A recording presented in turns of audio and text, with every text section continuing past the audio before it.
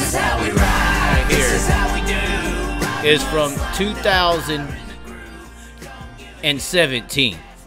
This is on my page, the Chaz, who at, which at the time was named Dirt Track State of Mind. I do believe at the bottom right of this screen right now, you will actually still see the Dirt Track State of Mind logo that I started all this on. This was my first video ever uh, to be posted.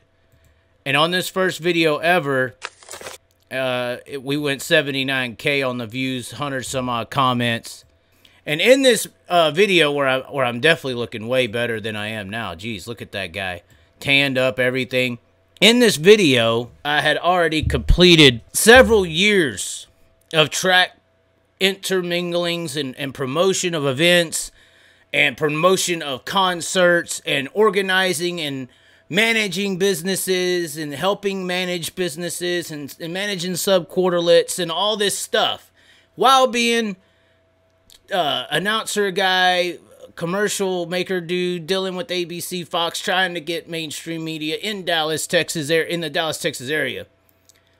And unfortunately or fortunately, I have come to the conclusion, and in this video, I literally state how you just think these dirt track people are just a bunch of rednecks driving in circles.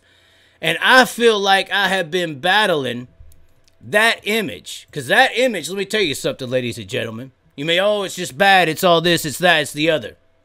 At the end of the day, I'm not saying what I believe it is. I'm not saying what I think it is.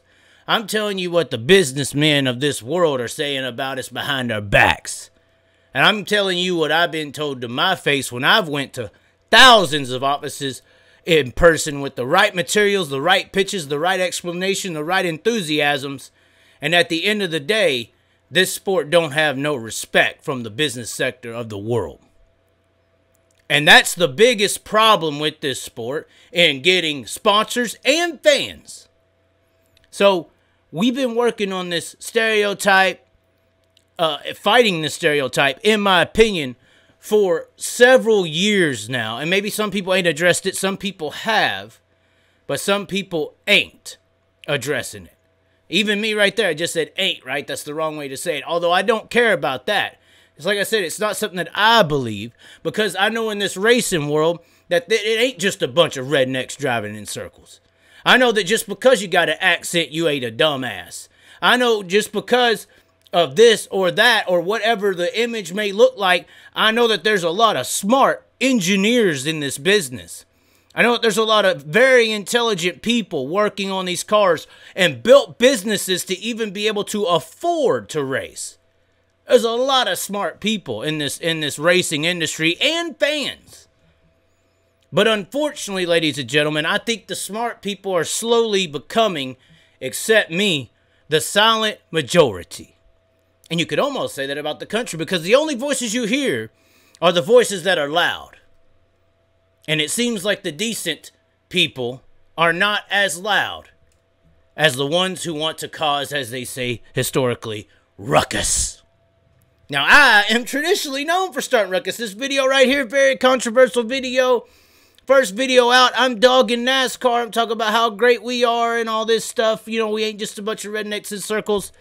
But that perspective, this attitude is coming from seeing what the real world views when they view us. And that view, that misinterpretation, that ill, incorrect assumption of what this dirt track racing world is, is what is costing us the ability to grow. Hell yeah. The, the number one promoter of Stone Cold was Triple H, the enemy. The number one promoter of Hillary was Trump. Yep. The number one promoter of Biden was the deep state. No, I'm just playing. Uh, anyway, The number one promoter of uh, and Charlie is the Chaz. I did not say this. I think FloRacing is the number one promoter. I think we got a call here. Hold on. Let's see if we can. Uh... Hello, hello. Oh my God, we have the man. How long has Charging been your nickname? That's what I would like to know.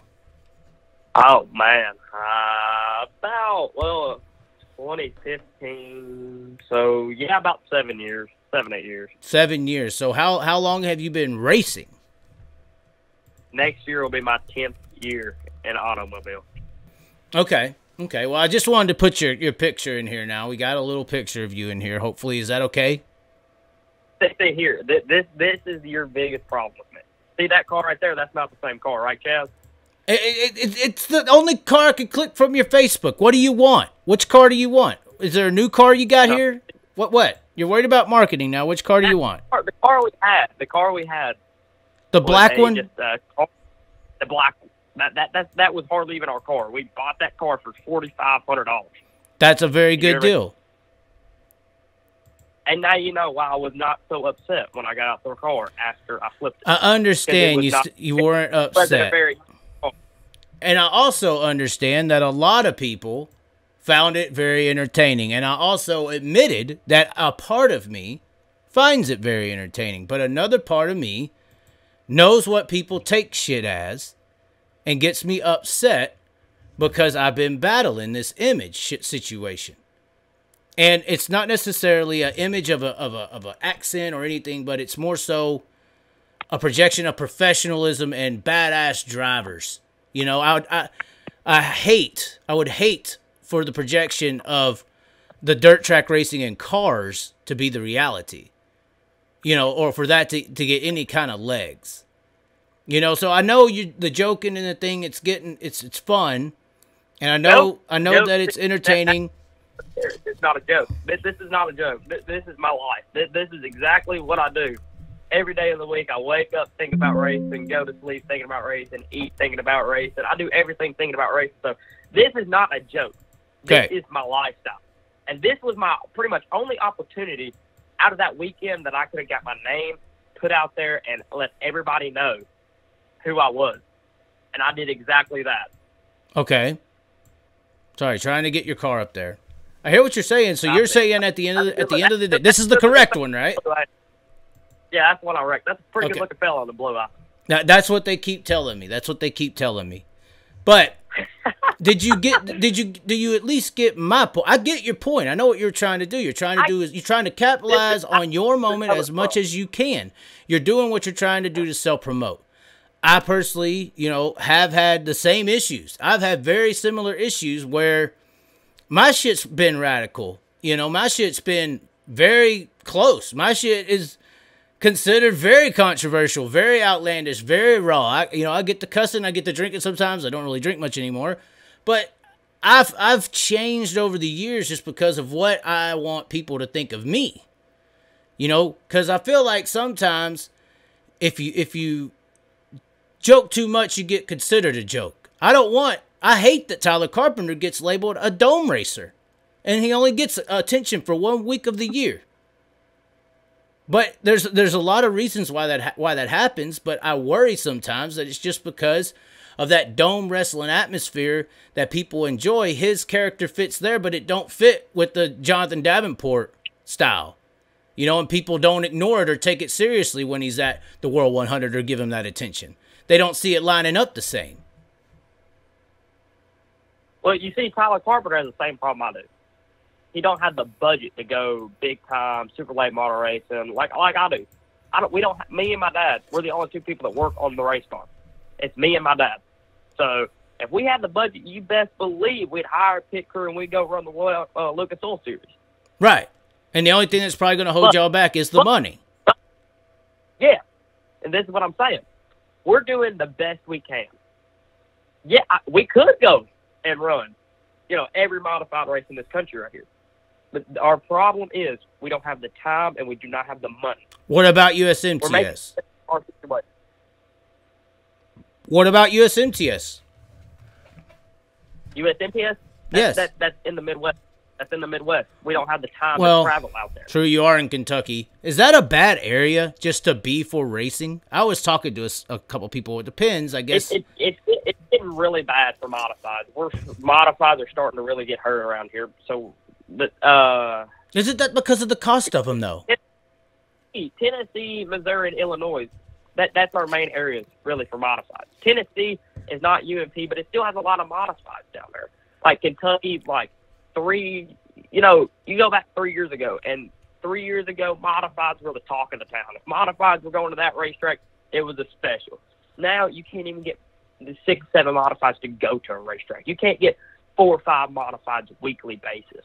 So what? What? I, I, I go ahead. can't even go to a local racetrack that doesn't pay four hundred dollars to win. What Like, class? I, I can only go to a local racetrack if it pays a thousand or more to win. Which I was lucky enough, you know, when they paid to, you know, go down there and you know make money and win. Because I mean that, that it's in my backyard and it's and I'm good at those racetracks. Were you at Bristol last year? The first year? Did you go to either of the Bristol races? I didn't. I, uh, my stuff wasn't together. You know, like I said, just me and Dad. We don't have our stuff together, and I, I don't see the point in going to Bristol. I don't. I, I think the racetrack's just a one groove, and it, it, it it's like just an experience to go to. Bristol. It's Bristol. almost To- like to the Dome. a- See, the dome. It's it's almost this, this my the dome is my dream race. The Okay. dome is. I, I want to win the dome. The dome. I've been every year it's been held. The dome is legit my dream race. now. Do you do you, did you did you get my point in what I was trying to say at all though, or did you just think I was bitching at somebody because they had a moment? This, this what I see. You can tell me what you think. I know where I was coming from. I got the documented evidence of why I feel the way I feel. where I think you're coming in from. I think you're coming in from a business standpoint. You're trying to get money into the sport. You're trying to get viewers into the sport. You're trying to make the sport New people. reach around, um, become you know a big name for itself. Okay. Which you, you cannot change the sport for what it is. If you go up to a basketball team and say, uh, you can't wear Nike shoes anymore, you can't, uh, you can't cut you you got to tuck in your jerseys, which they are. You you can't wear headbands anymore. You know, you you you can't post on social media. You know, you you can't go see fans. You can't, you know, in interviews you can't express what you thought about the game. That that that you know that's what you're trying to do. But that's not that's not the, no no because I stand by the Tyler Carpenter and uh, the Kenny Wallace celebration and even the Hudson O'Neal ish, issue because I believe that's competitive based emotions. You know, it's winning celebrating emotions. It's it's it's mad at somebody emotions. Well, because I, I. I think if somebody's taking this the, the the sport seriously, if they wreck their race car, they're upset about that. I think that that is an, a natural emotion. I don't think that joking about destroying a race car is respectful or serious. That's just me. I mean, I mean, you could view it different. You could act how you want. I don't care, but that's how I feel about it, and I And you express my opinion on it about it. because you it care, was. you care enough to talk and have me on your mind to talk about it and make three videos. Somebody, no, four. no, no. I mean, I don't want to pull up the message that I received, but I didn't even know what the hell you did. And then some racer sent me. I was on the way there. I was, I was trying to get there Friday, but I was busy working. I couldn't get there in time to go to the dome. I got to the hotel. Somebody messaged me and said, "Can you believe this shit?" And I go, "What are you talking about?" He said, "This is embarrassing to the sport." Sent me the clip, saw it because he sees where I come from. This is a, a longtime viewer of mine and and this is the type of thing that I don't think helps in that kind of moment. That's how I view it. That's how I view it. I just don't think it helps. There's a lot of battles that this sport is going under. And I don't think that you shouldn't be able to express and all this stupid shit that you that you're saying. Not saying you're saying it to me. I can understand your perspective because of how I've come about like- this. You-. No, I know. Okay. I'm saying that I'm not. You were just no. You just said to me. You said you want me to that I want it to where you can't say what you say and you can't meet fans. No, I'm not. I'm talking about that stupid. I don't. I think that's stupid to do that to somebody to restrict them from saying what Well, they think. you know, I can't meet fans, but you're saying, you know, I'm I'm embarrassing for the sport. That I'm not what the sport needs. So that the that- you're trying to take situation.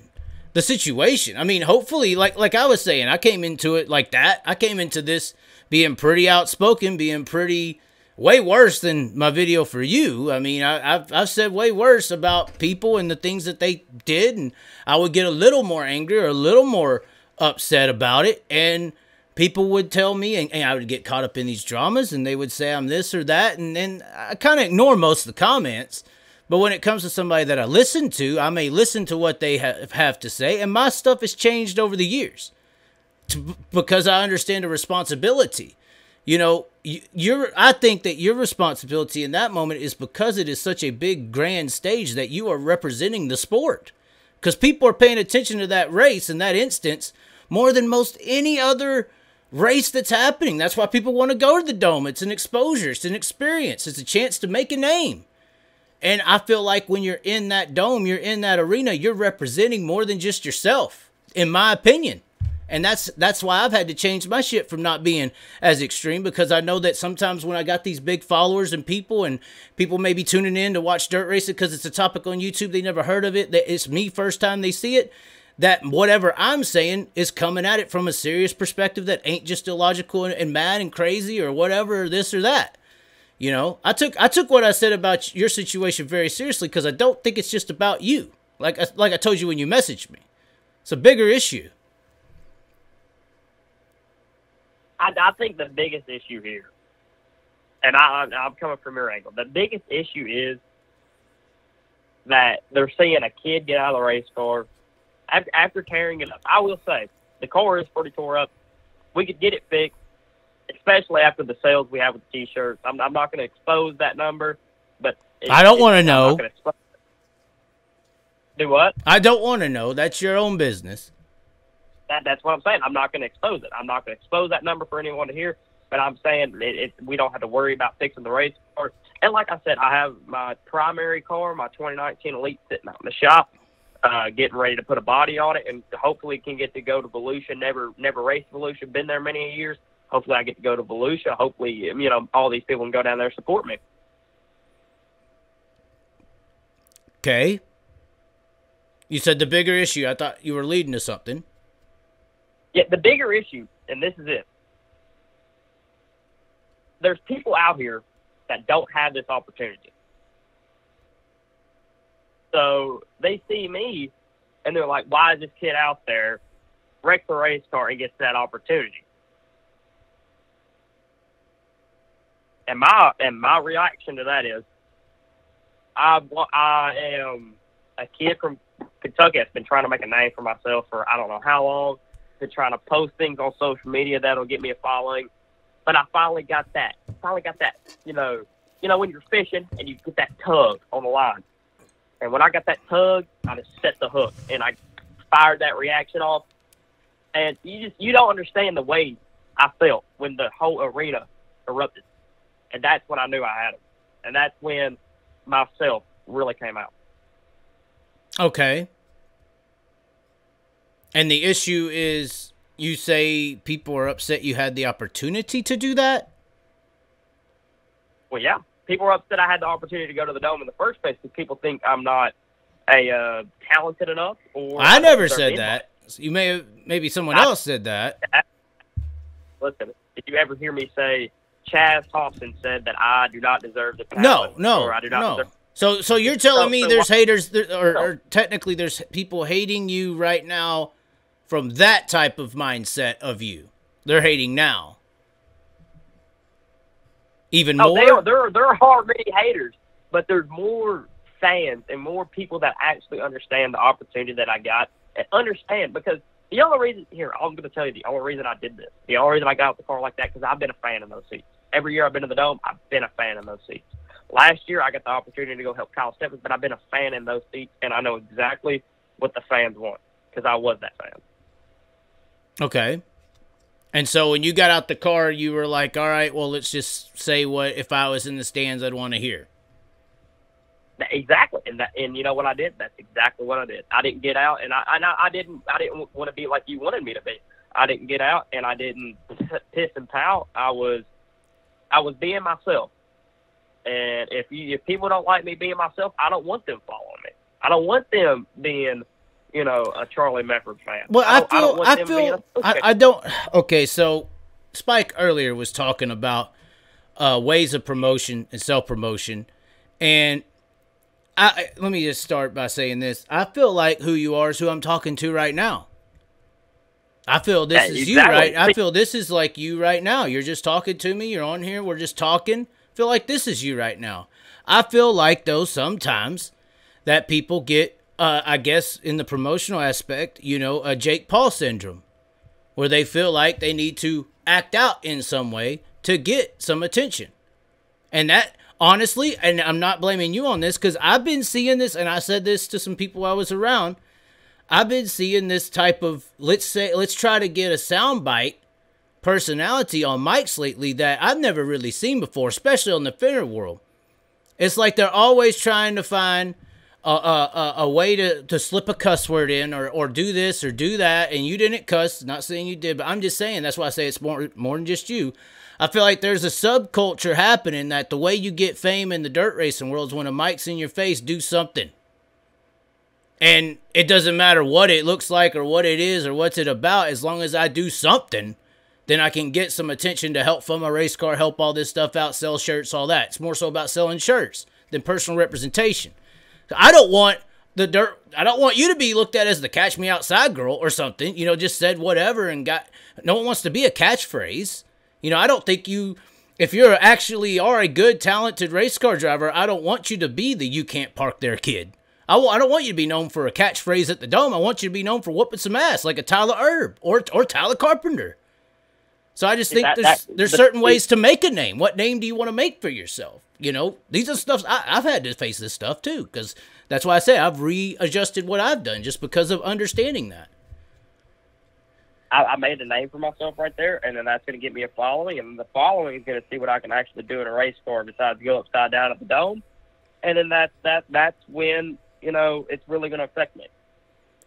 So you're you're hoping that you were just hoping that this is kind of like a, a a door opening moment that you can then get people to walk in because of this situation, and then no matter what you did to get them into the store, at least now you can sell them the food you're cooking. Exactly. See, Okay. I had to get my name out there. So I had to get my name out there and vote myself.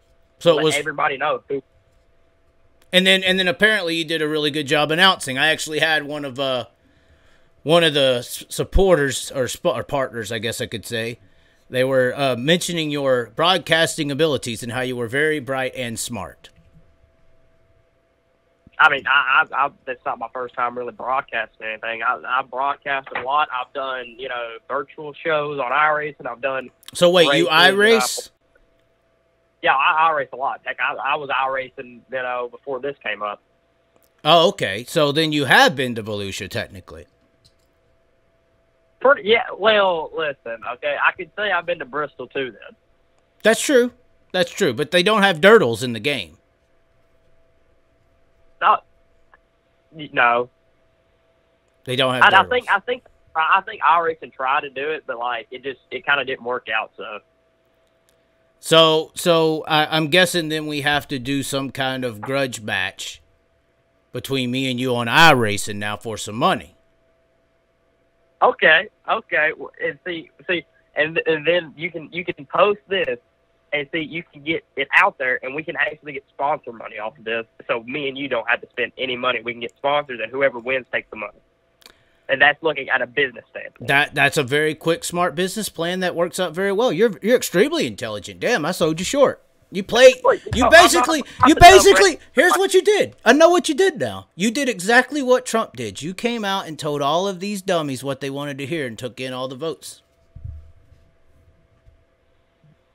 I wouldn't call them dummies. They're my supporters. They're, they're Well, I mean, that Trump- I, Trump they're ain't gonna say that. Sorry. Go ahead. Go ahead.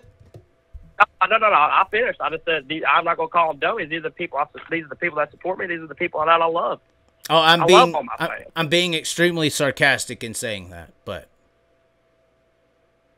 Yeah, well, I, I, I, I'm not gonna, you know, put that on me. well, I'm just saying it's it.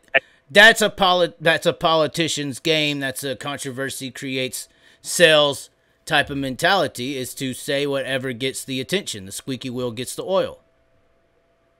Yeah, that's right. So you're you're saying now you have it all planned out. This was premeditated. You're saying before you even got to the dome. My my goal for the dome. It, Uh, it's gonna sound stupid. I just, I just wanted to walk out that tunnel for driver intro. That is all. It's ever since I was a kid.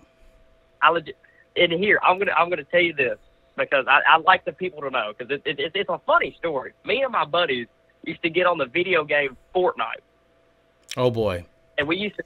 I used to build the dome on that game, and build a walkout tunnel, and we would legit play songs through our phone speakers into our mics, so we could just act like we're walking out of the dome. We raced golf carts, acting like it was the dome.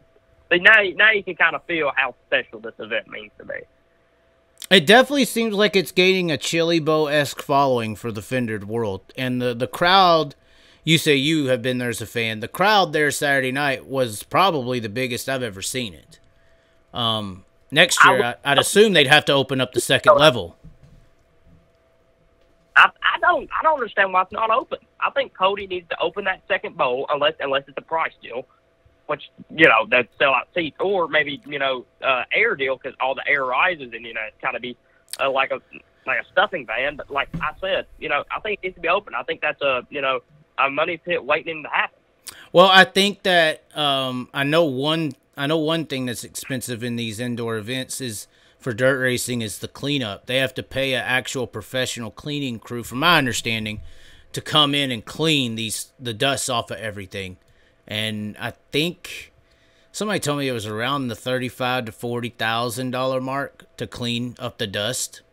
I believe not not hundred percent sure, but I would assume if you open up that second level that that would go up at least five thousand.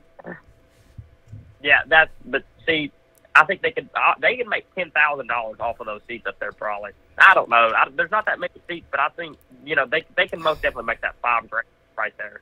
Yeah, I, I mean, I, I, I mean, I think it's, I, and that would be amazing. Um, uh, that would be awesome. I, I, I feel like the track needs some configuration changes. Me personally, I think. What, what is your opinion on the actual track? Because it is, it is. It, a lot of people say it is what it is, but I have a feeling it could still be better than what it has been.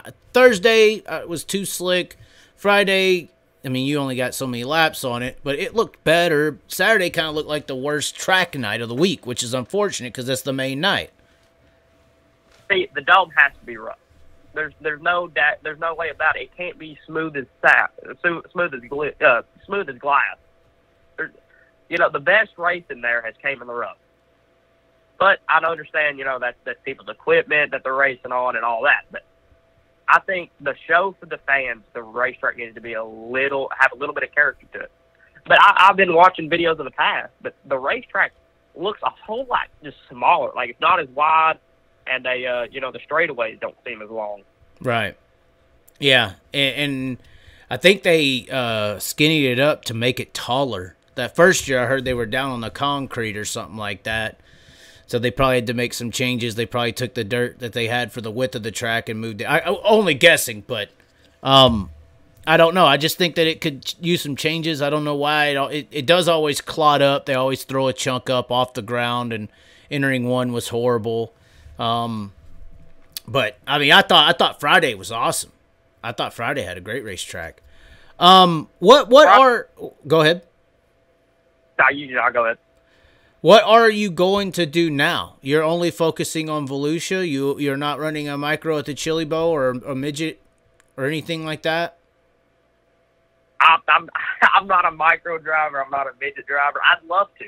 I'd love to experience that, but you know, I mean, I'm not going to spend my money on just one race just to, you know, not know what I'm doing. I, if somebody, you know, would offer me, you know, a deal, I'd I'd offer in taking it. It's just I don't know what I'm doing in a micro. I don't know what I'm doing in a midget, but I uh, I'd, I'd love to experience that. I mean, that was talking one year is like, you know, I mean, we we'd love to go out there and experience. I'd love to just go to Tulsa just to uh, watch and just sit there one year and go to the Chili Bowl. I've been thinking about going to the Chili Bowl this year just because the atmosphere.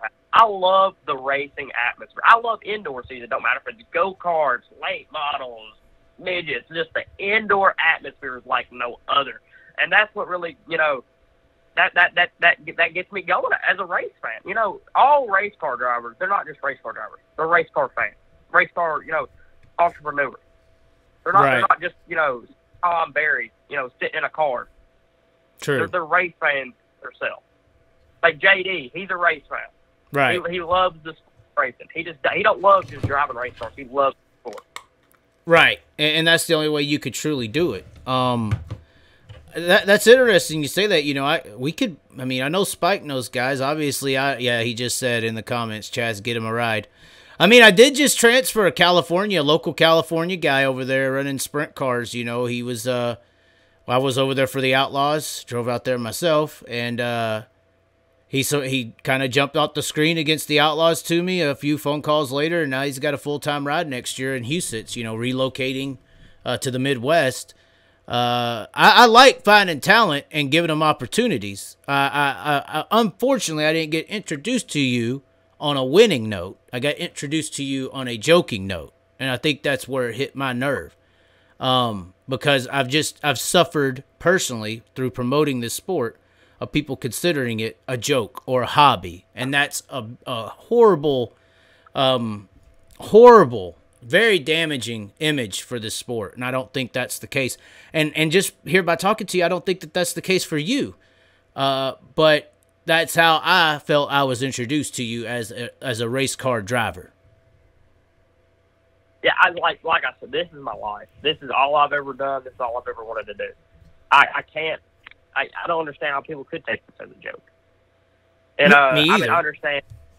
I, I understand people oh, you're just going in circles, and I have to explain to them it's not just going in circles. Right. It's not. You you got you got machines out there working. You know, you got the right setup. You got you know drivers that are out there, you know, doing this for a living.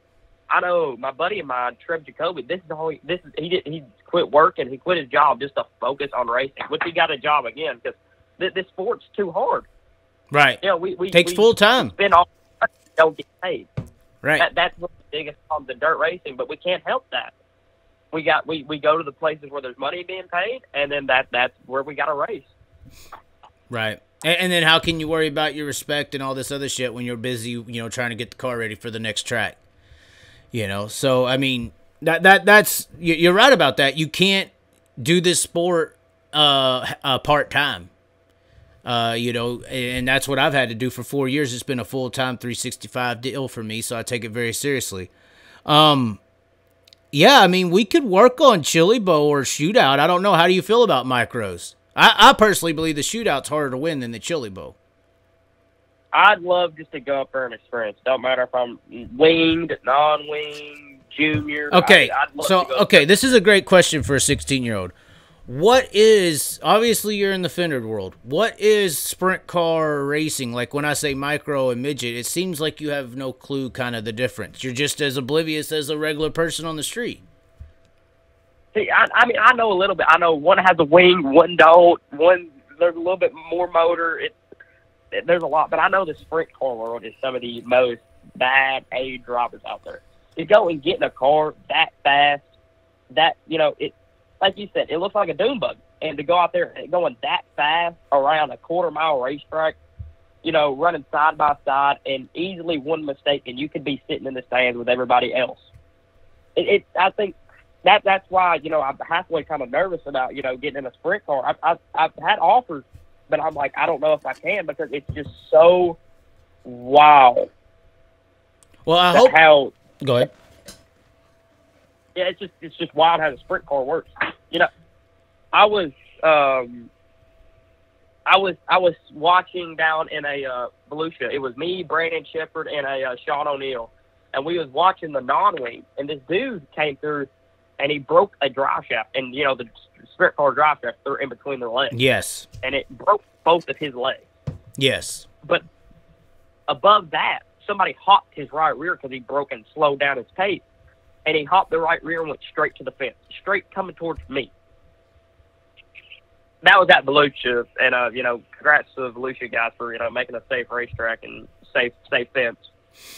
Well, I mean, I'll tell you what, something that's really funny. You know, we always think that these uh, sprint cars are super dangerous, and I would agree. That's probably, and that's why I think they deserve you know respect I think winged is a little more dangerous than non-wing. I, I know traditionally non-wing's a little more viewed as dangerous because you used to flip insanely uh, in comparison to winged, but impacts is what hurts people now.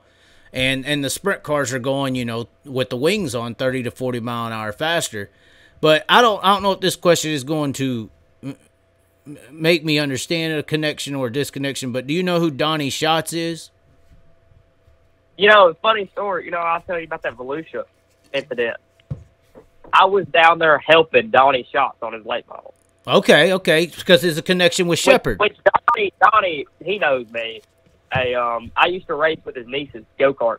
Uh, Batesville 2020 when he raced a go kart. So yeah, I, me and Donnie, we know each other. I, I know that Schatz family. Pretty You know, that's actually funny because when I told him, I was like, well, I texted him, I was like, well, I might not make it through tomorrow. He said, why? I said, well, I I kind of, you know, said what I thought on this whole uh, uh, Mefford deal and don't know if I'm going to make it out. And he said, good old charging Charlie. So, yes, he, he does. Now that you say that, now that makes a lot more sense why he would say that. So, Yeah, Donnie, he's a good guy. I, we always call him the Dale Earnhardt of dirt. He's always strutting around in them Wrangler jeans and Mhm. snakeskin boots.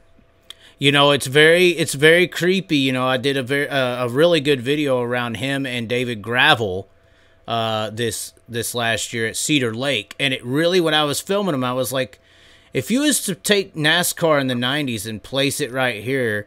Donny Schatz could be very relatable to a Dale Senior, and and David Gravel could be relatable to a Jeff Gordon because he's very pretty boy, you know, kind of more fl- flamboyant lifestyle, kind of like a, a Jeff Gordon was. But that's uh, a very interesting thing. But what I was going to lead up with was Donny Schatz when I did my talk show with him last week. Um, he told me I asked him what was his worst wreck in his racing career, and I was expecting him to say something here, something there. He told me that the worst hit wreck impact period in a race car was at Knoxville in the NASCAR trucks.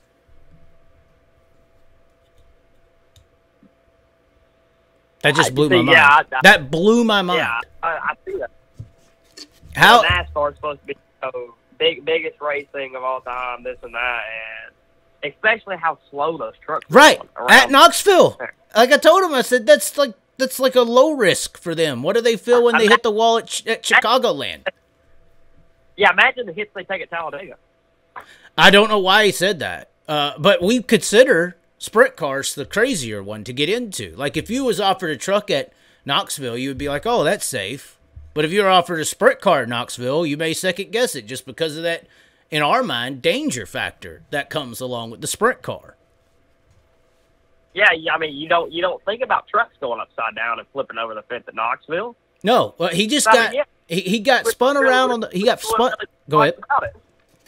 You wouldn't really think twice about getting in a NASCAR truck at uh, there. at No. Knoxville. No, and all he did when on the replay, I went and pulled it up to put it in the interview.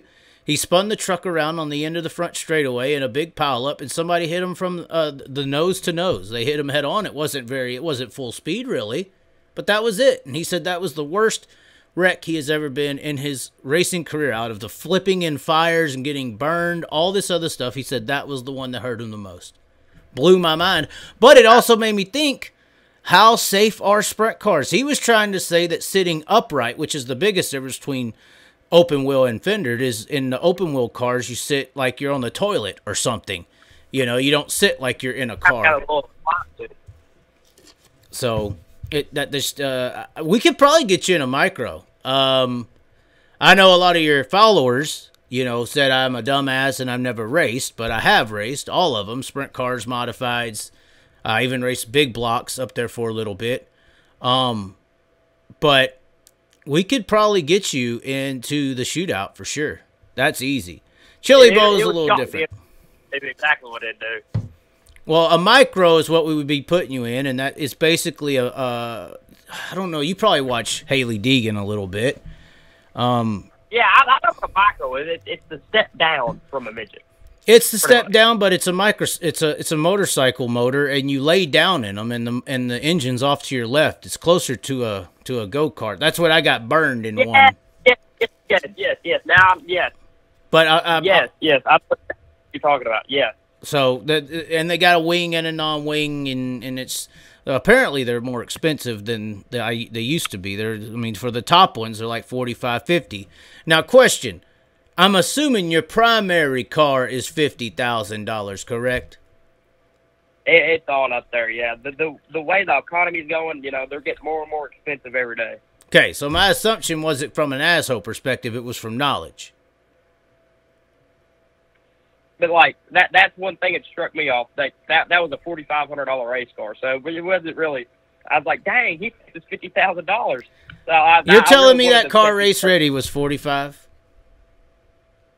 No, no, no. It's no, no, no. It was a roller for uh forty five hundred. Okay. And then the motor was well, I guess at that point you can't really damage the motor. I mean, you could, but Yeah, that, that and that that's the motor I run all twenty four seven. I mean, that's that's the only motor I got. okay. Okay.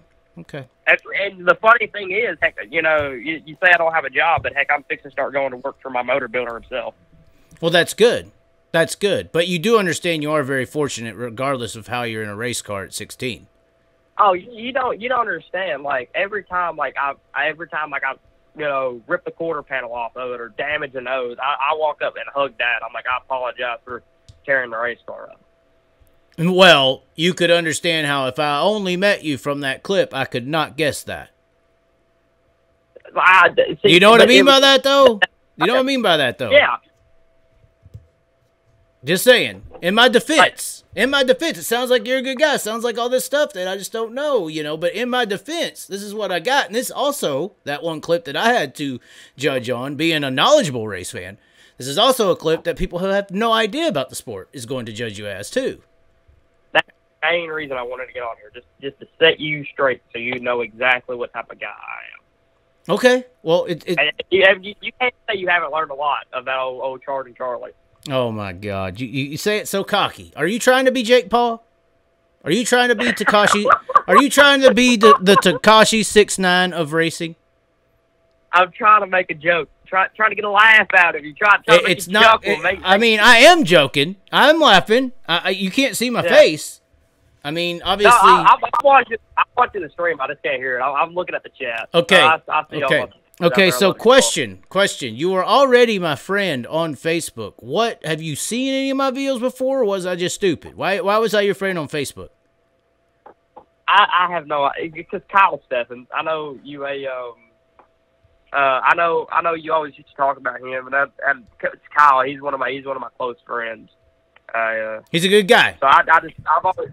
Oh, Kyle. He's he's a great guy. Uh, he's, he's he's one of my. He's one of my biggest uh biggest buzz, and he helps me a lot at the racetrack. He's he's one of the best guys in the pit. But uh, yeah, I've always just seen you on a social media way back in like 2018, 2019, back when I just started, you know, in big cars. I, I really, and I've always, yeah, I've always just followed your stuff. Really, Okay.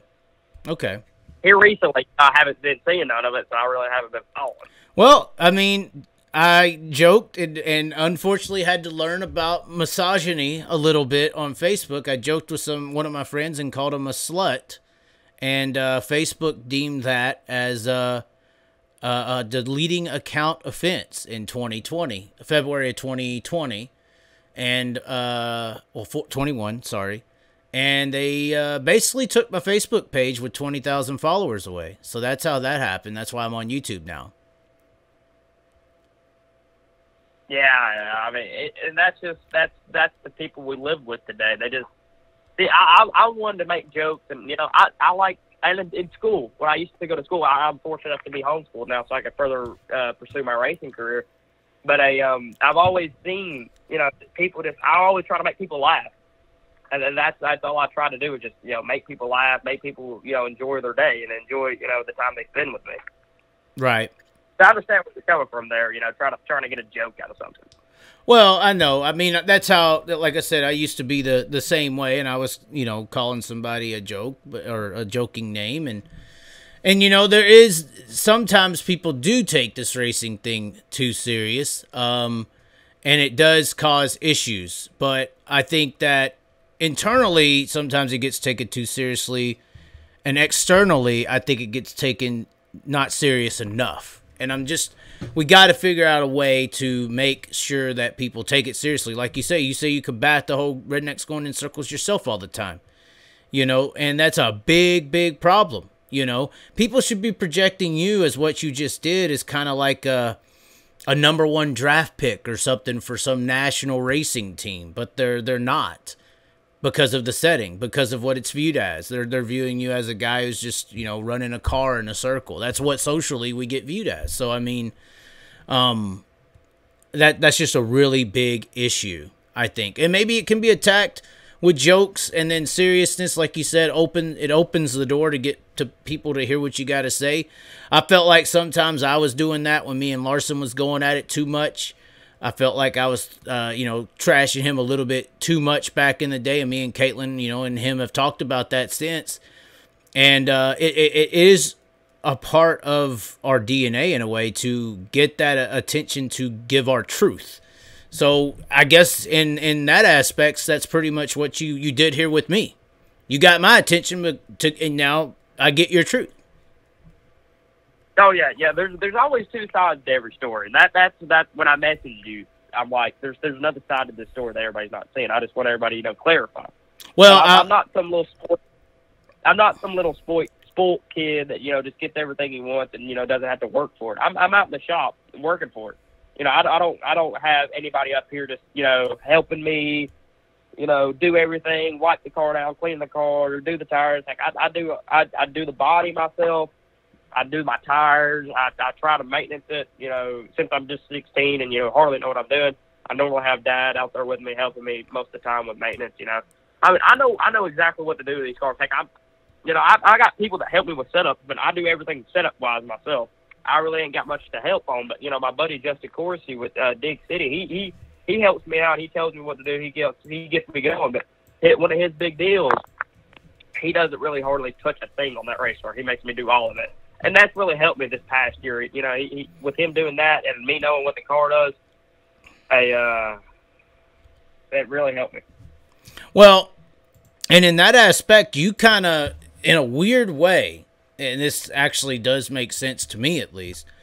You also fight the stereotype of if you're 16 and a modified that your daddy just has it all figured out and you just get to live the the rich life because that's what most 16 year olds in race cars get to experience. You don't understand. And you know what I tell them, Jazz? I go for I say, hey, I have daddy's money. I'm 16. Do you think I paid for this myself? No. Well, and that's Am the deal. But there's different ways.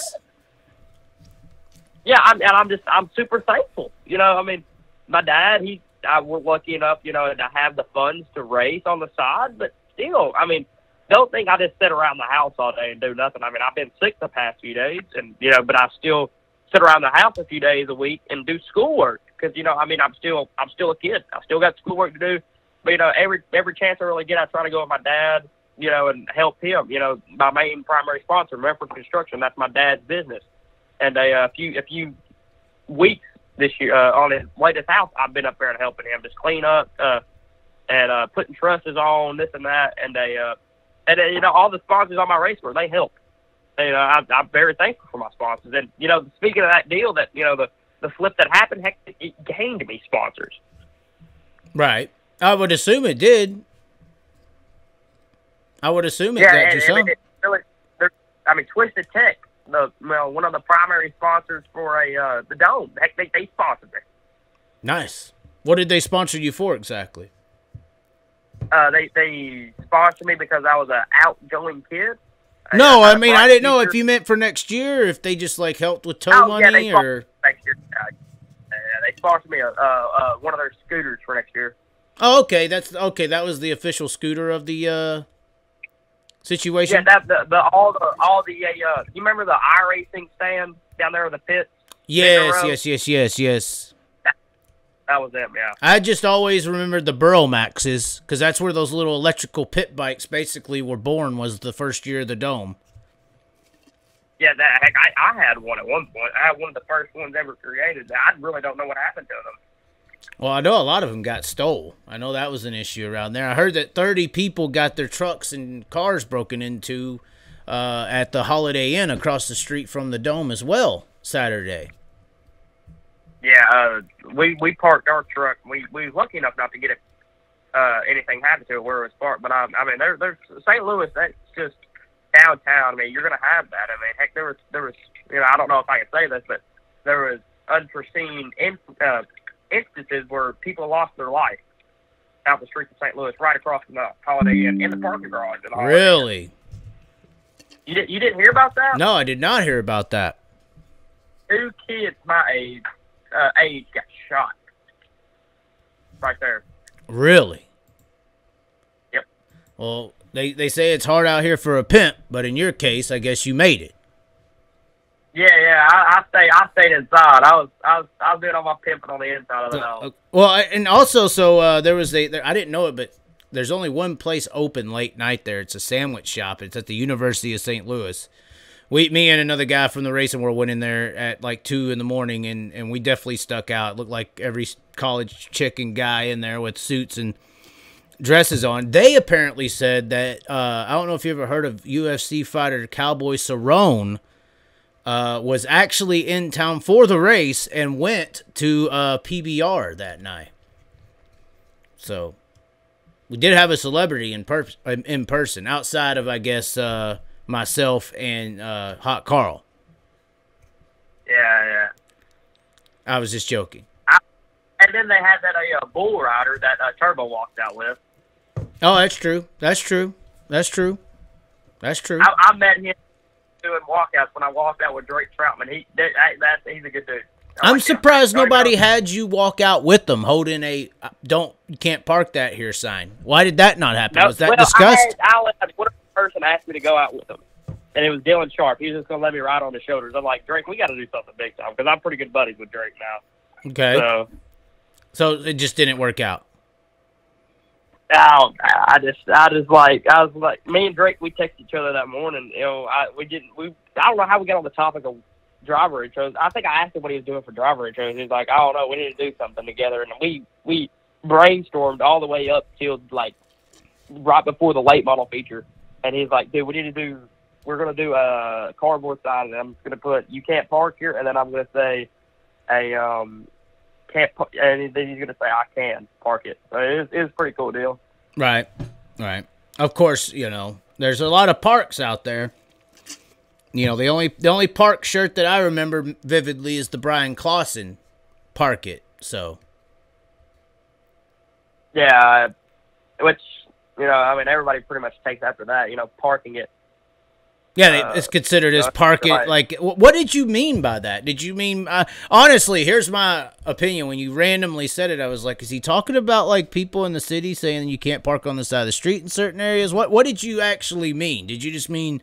Okay, so do you see a racetrack as a parking zone?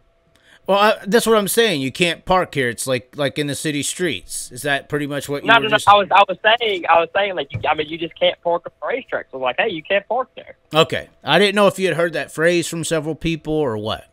I, I, I say that, like, just in my normal life. I just go, like, when I'm out in town, like, when somebody, like, you know, somebody stopped on the side of the road or, you know, somebody, like, got pulled over. I'm like, dude, you can't park there. And have you heard numbers on that that shirt selling? Because I'm assuming the Pit Lizard shirt was the only one that sold when all this happened. Um, I know Uh, Matt. Matt I- over I- at Race Ranch is awesome. I've dealt with them. Matt has sponsored me at Race Ranch. So, um, I, um, I haven't heard the exact numbers, but I know he Matt. He sent me a video on Snapchat today. Old Sheldon Creed, the Xfinity Series driver, ordered a shirt. well, They're, they're still ordering shirts. They're sh- they're ordering shirts of mine from last year, the orange shirts. Right. Uh, So what do you what is your projection? Obviously, you know, I like to give guys like you some more credit than say a Sheldon Creed, for example, cuz Sheldon Creed had a bunch of financial assistance to get him to where he's at. My argument would be you're just as talented as any other 16-year-old that right now is running a ARCA car for 1.25 million dollars a year. Uh, what do you feel I about was on a Go ahead. I was on a podcast earlier today about six thirty, and I that that's what I talked about. That I was like, "There's it's crazy how there's so many young kids out here with talent that don't get the opportunity Right. because they don't have the funding. There's, Right. there's kids out here that are out here winning races that nobody even knows. Well, and that's that's why I think you know the respect for dirt racing has to go up because it's honestly going to be the only place y'all are going to get a shot. You know, and even talented race car drivers that aren't lucky enough to have your dad have a construction business and be in a car at 16. Dirt racing is still, as currently runs, the only place you could maybe go build your business and then by 30 years old, if you have a construction or whatever, you could buy you a race car and actually go and perform you know because when we talk about 1.25 million to rent out a arca car for a year and 3.5 million to rent out a truck for Hocevar, that's what I was talking to him about It's like that's a very small percentage of people who's going to even get to attempt to do that. You know, that that's not Yeah, saying that they're the best of the best. That's saying they're the best of the very well off rich. Yeah, it, it's the it's the rich that like driving race cars. That that's NASCAR. Yes, it's it's rich people go karts. So my my response to that is what do you think we have to do to get people to recognize what you're doing isn't a joke? What do we think what do you think we have to do to get the respect for that race car that you wrecked? I'm not trying to take a shot. I'm just saying, what do we do to get them to respect these race cars and the drivers behind them? People got to understand that it's their only shot at fame, and their only shot to get their name out there. So that that's where I, that's why you got to understand that if it, that was my only shot the weekend. If if I didn't say all that right there when I ended up in the booth at FloRacing, when everybody went and bought a T-shirt, no, I just walked back to my pit and loaded up and just had a normal weekend for after that. I would have went up and just watched. Nobody would have knew who I was. Right. Well, that's a uh, uh, that's so, more so talking about you, and that's why I did hint to it being a little not necessarily selfish, but you did what you had to do for yourself. I'm talking about the sport. What do we have to do to get people to respect that car and the drivers behind it? Because that's what you want to ultimately be. you just you can't you can't point them in the wrong direction. There there there are people out here. I'm not going to point fingers at what class, what what tracks or nothing. There are people out here that are making a mockery of the sport. Like people just not not really caring, not really showing the passion that this sport needs. Like people me. out there that are. I'm not saying that. I'm saying that there's people out there that are just going out there to race just to say that they drive a race car. Right. That's To say- horrible. Yes. that that that, that don't belong in a race car. No. That are just your average Tom Billy Bob. Just hey, I, I got a race car. Look at me. There's there's people out there that deserve the recognition. I know, like like my buddy Cole Hilton. He's he's an up and coming racer himself. He's he's from North Carolina. He's one of my best friends right now. He has a lot of talent, but around here, nobody knows who who he is because he's from North Carolina. He, he nobody was going to recognize him around here because he he don't have that recognition. See, nobody knew who I was in St. Louis because I'm not really from St. Louis. Like you you can go to my local racetrack and everybody's going to know me. That that's what people are. They're local heroes trying to make a name for themselves. That that's that's what the big stage is. Well, how do Like, we go listen, ahead? Jonathan Davenport, he was a local hero once. Jimmy Owens, local hero. Bobby Pierce, local hero. Tim McCreadie. Well, Tim McCreadie had backing from his dad, but he was a local hero at once. Yeah, he had a last name. But I mean, all these people were local heroes at one point. True. But I, I feel like local heroes got- have died off. You got to have a break in the action to catapult yourself into the fame that gets you places. Okay. And that's and that's how you see it. How do we get how do we get people to respect local heroes outside of the sport though? How do you how do you introduce it to them? Are you, do we Like, bank do we bank on YouTube and Facebook because if we bank on streaming, I don't think we're going to get too much exposure.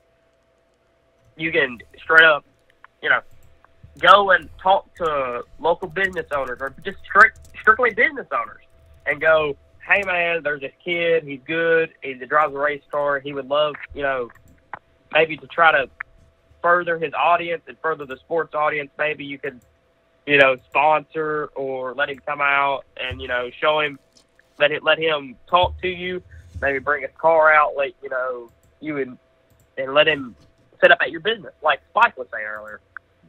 Right. Now, do you think that sim racing hurts racing? I don't. Now, it's an argument. There's It is. It's there- a really good argument. There, there, there's kids out here, and I, I, I can't even lie. I used to be one of those kids that used to just go out there and wreck people for fun. But there's people like, um, say, you know, Majulis, Hauser. There's people out here that are actually doing this for like a living. They're out here running, you know, money races I mean, you got to look at William Byron. This is halfway the reason he's sitting in NASCAR right now because Right. he got noticed L Junior when he was racing on iRacing. Well, Martin Truex Jr. did as It well. all goes. It all goes, and that all goes back to being noticed. You know, getting his name out there. Okay. And, and and you think that iRacing could do that for you, or just anyone? It could do it for anyone, really. If if you got the right people surrounding you, like iRacing, it's it's kind of hard to, for them to do it themselves. But like, you get in the lobby and you get somebody to notice you, like a Dale Jr. or somebody else. You're you're going to get noticed, and if you have talent on that game, you can kind of relate it back to real life. And and he put him in a race car, and he went out there and did great, and now he's driving the 24 for Hendrick Motorsports. Well, I definitely. Well, he did have financial support. You have to to go to that level, but I do think Well, yeah. that Of course. I, I think that no one should get their kid a race car or get a race car until they can run competitive, clean, consistent laps on iRacing. I think that would save them a lot of money either way. which what they did is a um what what we did we we got a go kart and that that's the best start uh, out of anything getting a go kart and run laps and get consistent and get good. And you know that that that builds hand eye coordination. It builds you know uh, just hand feet control and Get you used to being leaned over on the right a little bit. go kart thing got suspension you ain't really leaned over but it, it still it, it gets you it gets you that feeling of control And then I, I still say before you buy a real race car that you should you should be able to race make competitive laps on iRacing. You Well, can't. you shouldn't buy you shouldn't buy a race car and go straight to a race. That that shouldn't happen. You need to get a um you need to get in a race car and make practice laps. You, can't just go and get straight in a race. That I, what I did, I bought a race car. I went and made practice laps. At Paducah, at Windy Hollow, at Cedar Ridge. I made practice laps before I even got you know in a real race. Right. Well, no, no, I'm not saying that. I'm just saying if you can't make competitive laps on a sim racing game, you're not going to fare well in the real car. And I think to save Which your I- time before you do practice in real life, that you should be able to run that game consistently and and and fairly well before you even practice a real race car. That's what I think. I've had people come to my house that are very good race car drivers, really good, really talented, and they can hardly make a lap on iRacing. That's very It's true. so different. It is very true, but I think that that is because the the iRacing iRacing really only teaches you two things. It teaches you, in my opinion, it, it teaches you race etiquettes, and then it it also teaches you throttle control. And outside of that, Yeah. it really don't teach you much. It really it keeps you it keeps me kind of refreshed. You know, um, that that's like a workout for you know up like sports uh, people. You know, like NFL stars and NBA stars. That, that that's like it's like my workout. It keeps me, you know, hand-eye coordination updated and all that, and it, it keeps me sharp.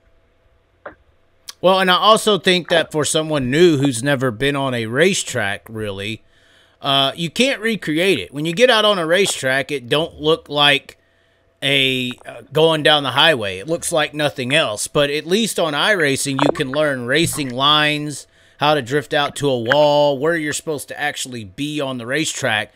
That I think if you just get a race car that you're going to have to learn all that with a real race car and, and something that you could damage or destroy. I just think that that iRacing would, would would knock all the the learning techniques off as far as where to be on the racetrack. I think that's a big tool that it's underrated for.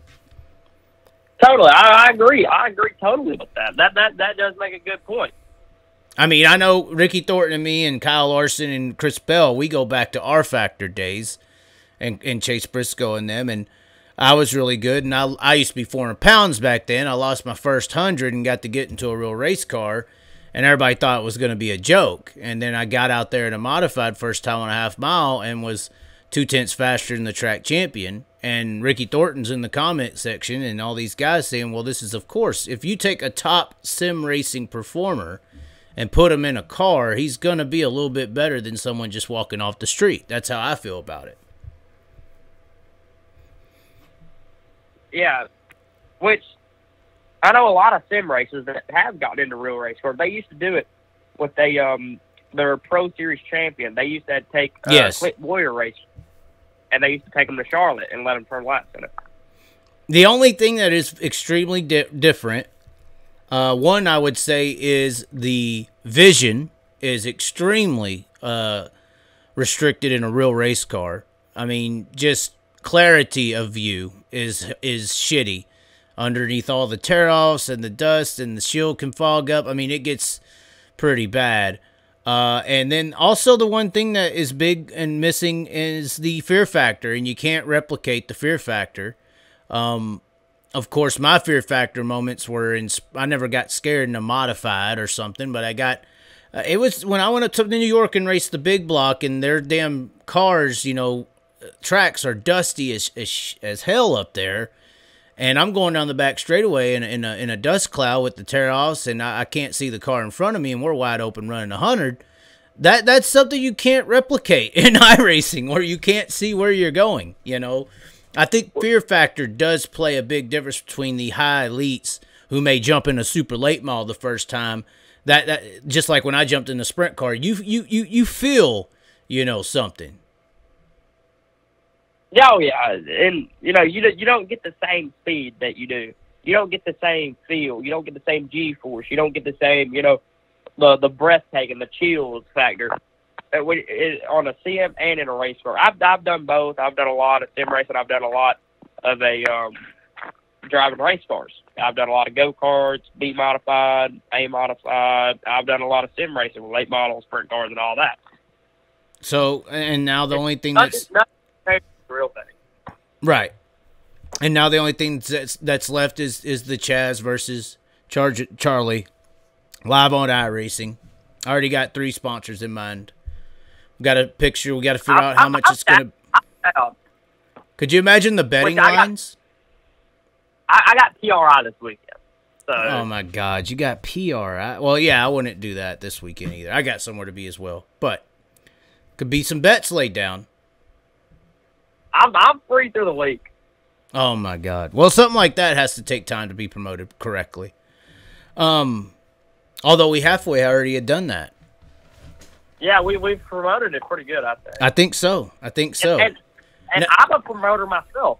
I, I promote a lot of events on RS. I've done a few Gateway Dirt Nationals, a few leagues. I've I've done a lot of promoting myself on iRace. But you have more background than I do, so I'm going to leave the promoting to you. No, I mean you could bring your crowd, I could bring mine. I know I could get the gravels and the Schatzes of the world to tune in, the Larsons and the, the the open wheel crowd. I definitely have a little little decent reach over there. I mean, obviously your name's hot right now, so you got to reach as well. Um, you know, I I, I would I the only way I would have built built this rivalry any better is if it was. I guess if I would have slipped down to the pitting area and your dad would have knocked me out like I heard he wanted to, but outside of that, we did a pretty good job. Yeah, that that that's I think so. Yeah, and I and I think if you know if we could get me in a micro ride, I think that would really break the internet. That would be pretty good. I mean, I can pretty much get that to happen. I mean, that's not that hard to happen, the micro ride. That's not that hard. I mean, And like I said, I'm I'm I'm I'm up for the challenge. I think I can take on Driller season. I think I can you know rumble rumble the rumble some feathers in uh, Tulsa. okay. Okay. Okay. I mean, we could make that happen. We could possibly make that happen. If we make it happen, is your is me and your dad still fighting? I mean, are we doing a pay per view for iRacing and like a Jake Paul mi- boxing match too? I mean, what are we doing here? I, I think I think after tonight, I think after this, I think you know, I, I think I just, you just need to see my side of the story, and I I think I think our beef right here is squash. I think you understand my side, I understand your side.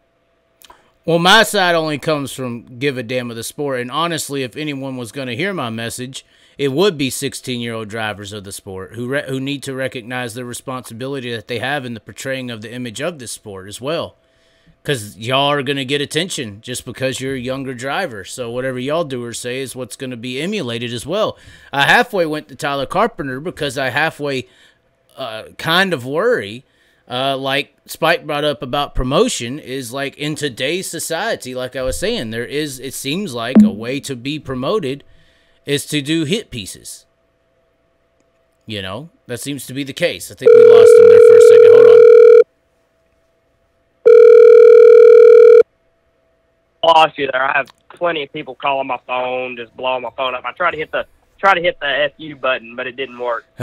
you hit the FU button on me, apparently. Yeah, yeah, yeah. Well, I, I guess I did in some way. Yeah, but yeah, we're back. They ain't calling because you're on the show, are you? Or are they just trying to call you to find if you No, have no, shirts it- left or it- something? Or It, it's just my friends calling. Me. okay, okay.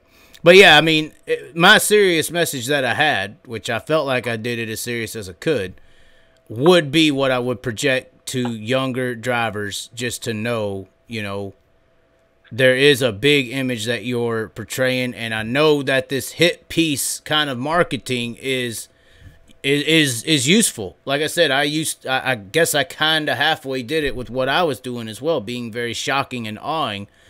But there is also consequences for that for the sport, not necessarily yourself. So that's just what I would like people to know. Oh, I know. Yeah, I mean, I understand. I understand where you're coming from on that deal, and I understand you don't want people to take this sport as being, you know, embarrassing or just letting everything a uh, Who gives a fuck? Fuck it. Yeah. yeah, Basically. yeah. I, I, but like, what I'm doing is I'm just being myself, and I'm just I'm here, and I made it a little bit. I haven't made it fully, but I think I think I made a decent name for myself by what I've done. I'm not gonna say it was the best way to make a name for myself, but it was the best way without uh, it. it I took advantage of what I had. Right.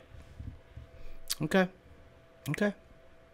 I mean, I'm not, I'm not, I'm not necessarily against it now that I know who it is, but without knowing, you know, hopefully people And listen that- to that- this. that- that- that's why private message you. I was like, let's sit down, let's talk, and we'll we'll get to the bottom of it.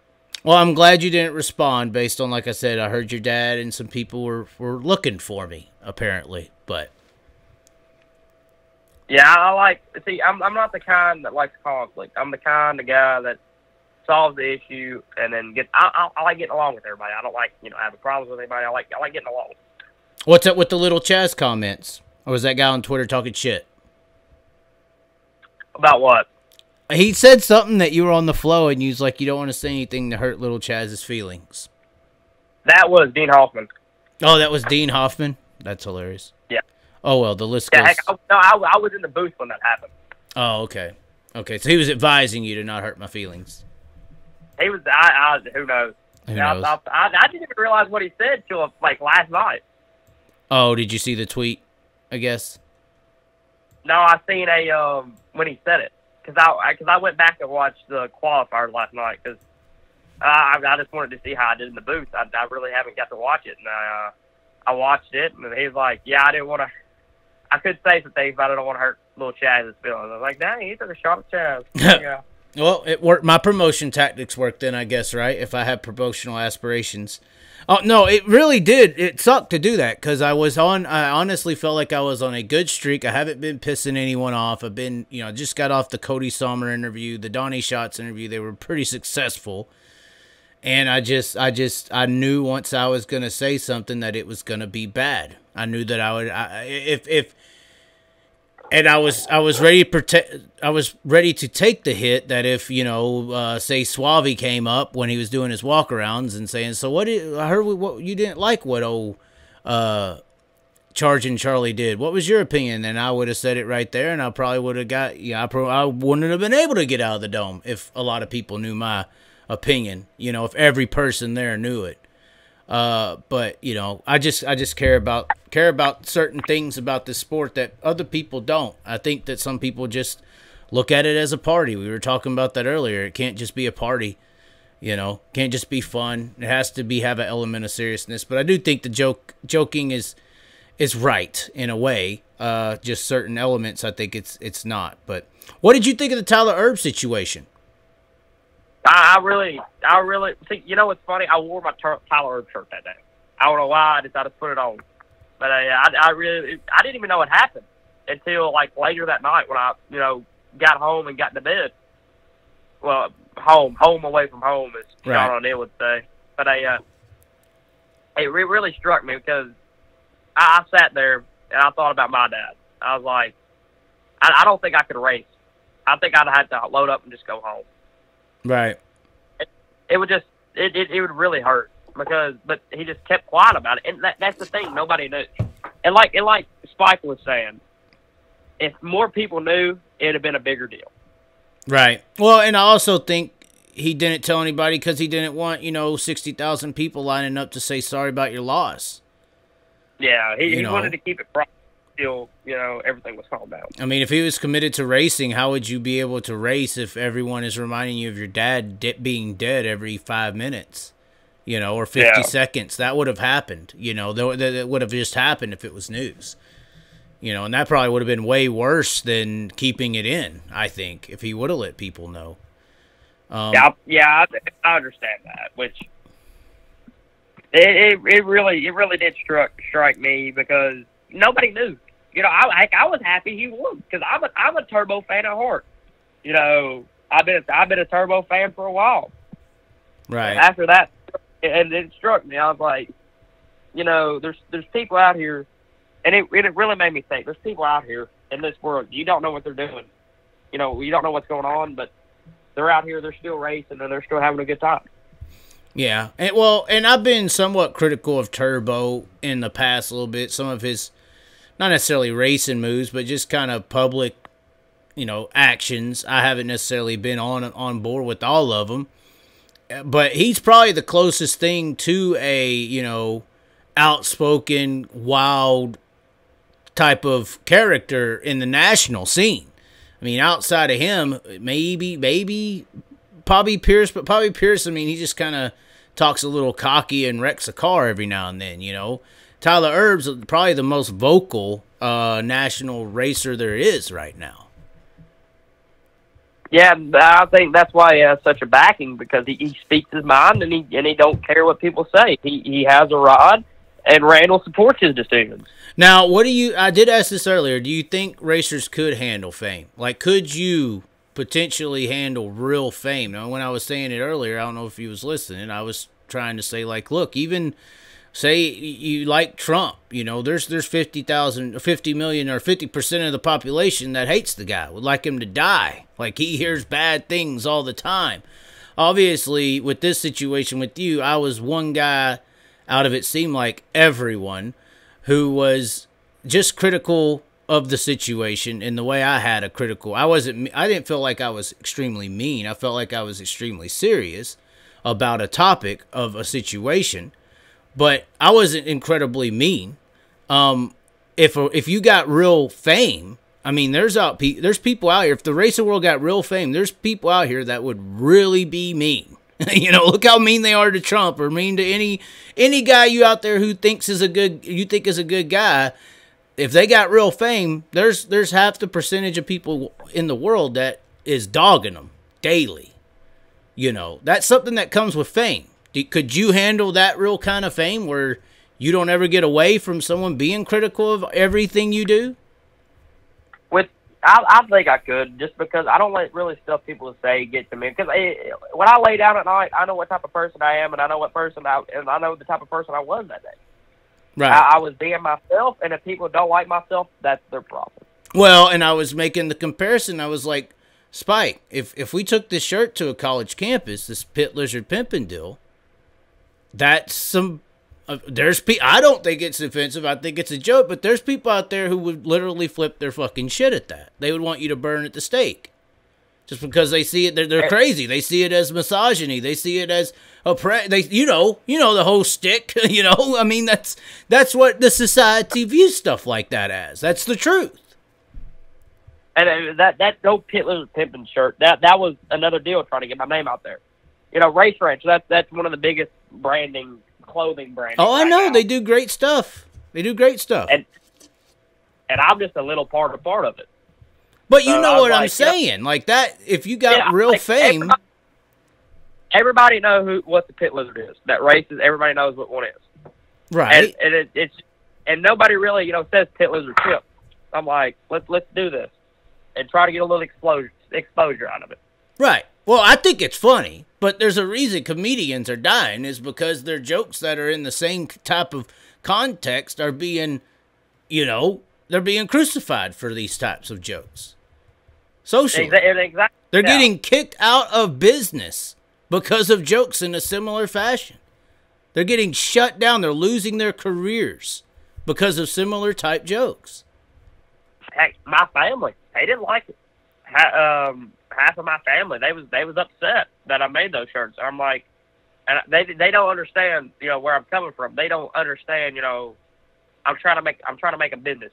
I'm trying to make a business and a name for myself. Why does Spike Fast Racing want to ask Charlie how many pit lizards has he had? See, this is disgusting. This is where the this is where the the the the objective is like, oh my god, he's he's 16 with pit lizard on his shirt. They, like they, they would run, they would have a field day with that. They would have a field day Uh. with that. That's what I'm worried Yeah. about. If this sport got real fame, how many people would get ex- would be uh, unfairly judged? First of all, because it's already unfairly judged. And then how many people would get exposed in that unfair judgment and crucified publicly over the unfair judgment? You know, you you also back there's another clothing brand, the Big Johnson shirts. Look, look how big it is. true, true. But it's And- and it's that- branded on being a joke. I yeah, I mean it, that they made it. They're they're big corporate spots. They're big corporate names. Th- this is true, but I mean, look at Kanye and Adidas. I mean, I'm just saying. Depends on it depends on what brand or what genre or what group you may offend. You know, that's just what it is nowadays. Which I mean, I done made the shirts. I really can't go back and change it, but I mean, that, that, that, that, that, that happened. The shirts were made. Everybody bought them. What's your uh, political opinions? You're almost old enough to vote. Will you be able to vote by the next election? Uh, no, I won't. Oh Maybe. man. Oh, you're you're out there trying to save yourself. You're out Yeah, I, there. I, I, I will. I think I will. Are you going to the military? Is that what you're saying? Uh, no, because I'm 16 now. 20 at the end of 2023, November 2023, I'll be 20. I'll be 17. At the November 2024, I will be 18. So I think I will be able to vote.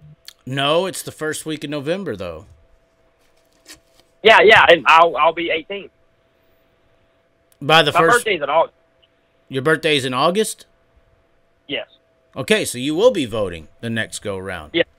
Okay, so obviously I feel like we're in a pretty politicized industry. I haven't seen really any other sporting industry align with a political figure as much as I've seen the dirt racing world affiliate with with Donald Trump.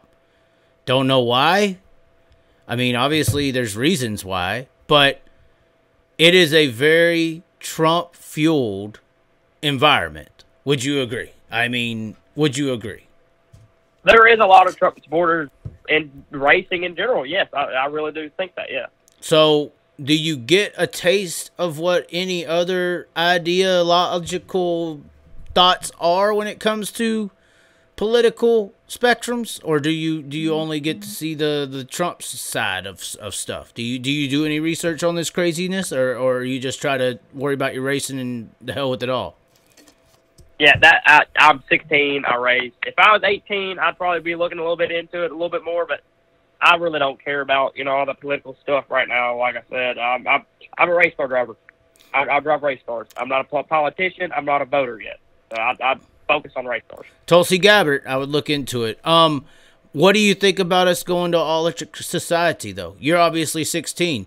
They're wanting to take motorized vehicles out by 2030, 35 for sure. So you're going to live in a world where apparently uh, they're trying to take motorized vehicles away. What is your thoughts on that being a 16 year old going into the future of motorsports? Well, everybody thought automobiles were bad. You know, they, we had horses and buggies. Yes, that's true. I was going to make So this point. Yep. Everybody, Yep. everybody thinks electric vehicles are going to be bad. It might help. It might. You're right. I mean, I was gonna make this joke to Donnie, you know, who's against it. I was like, you almost sound like the the guys on horse and buggy talking shit about trains and coal, you know, or the people in trains and coal talking shit about automobiles, or the people you know carving on stone mad about books. You know, it's just it's what happens it evolves. That's what happens. I mean, everybody's like, "Oh, you can't do that." Well, imagine what they were saying when everybody's riding horse and buggy and they're building train tracks across the country. You know, you can't. Which I'm here, so I'm not deciding when we go to electric. I, I don't have a say in it, so I really can't be mad or happy that it's going. It, it's the world we live in. It. We we we can't change it. Right. That's true. That's I mean, we true. Change but we can change it, but it's it's it, it's too far gone at this point. Well, in, a way, it's too far gone. Uh, personal choice is definitely being taken off the table. I feel like that seems to be the goal: is to take off individual choice of life. Um, at the same time, you know, I made the point to Donny Schatz that fuel is the concern and carbon emissions and stuff like that. Whereas, uh, in in in the sprint car world, they run on methanol. Methanol produces zero carbon emissions. I literally had to prove it on our talk show because he thought I was full of shit. Methanol is a wood alcohol, produces zero carbon emissions, has no oil.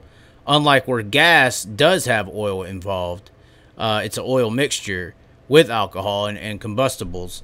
So technically, sprint car racing should be safe, but modifieds and late models running on gasoline are are are the ones that still do produce the carbon emissions. So it'll be interesting to see what happens there.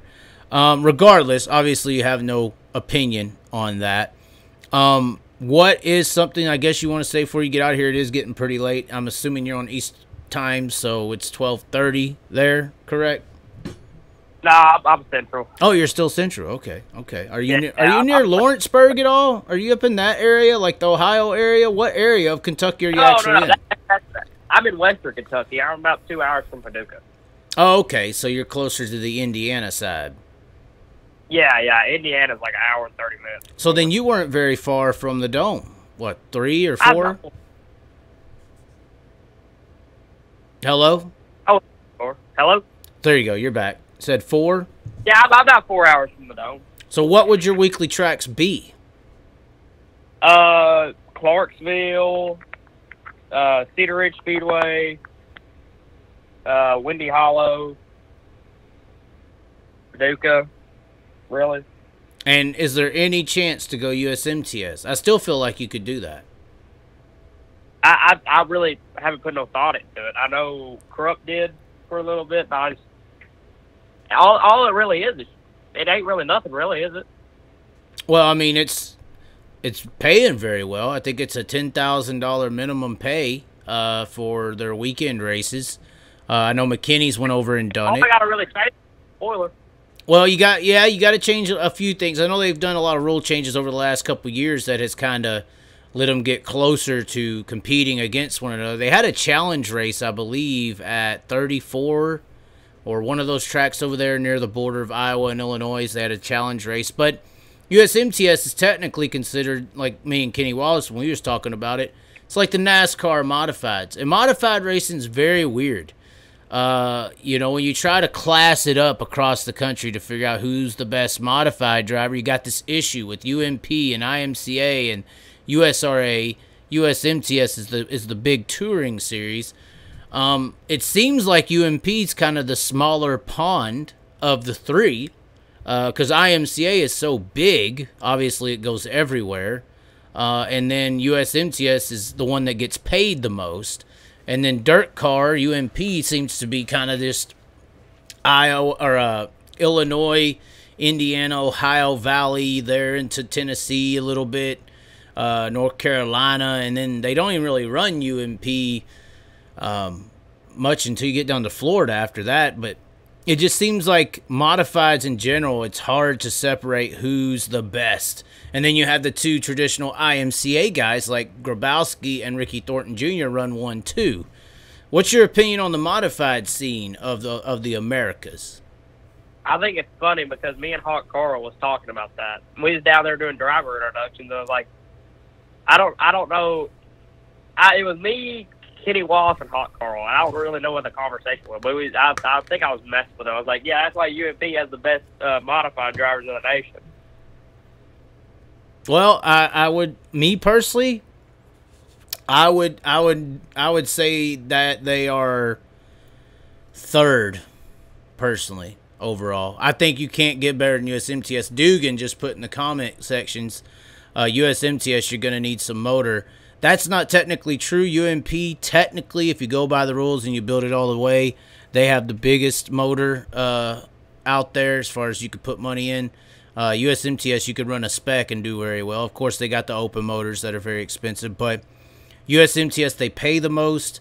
Uh, for an example, at Deer Creek this year, I went to the late model race. They ran, or no, Mount, Mississippi Thunder, same area up here, Wisconsin area. And it was USMTS and World Outlaw late models for the weekend.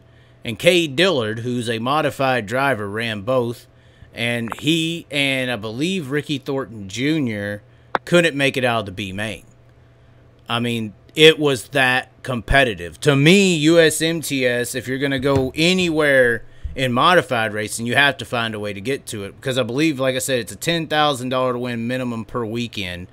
And then it is also, I believe, a $75,000 championship. So not only do they, you know, have really good racers, but they also pay the racers the most.